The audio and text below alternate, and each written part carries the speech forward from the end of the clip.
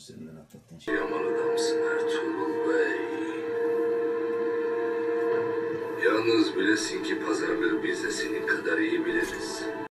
Musab Yıldız diziden etkilendiği karakterleri animasyon haline getirdiğini belirtti. Ee, e, dizide etkilendiğim sahneleri çizime dökerek animasyon haline getirdim.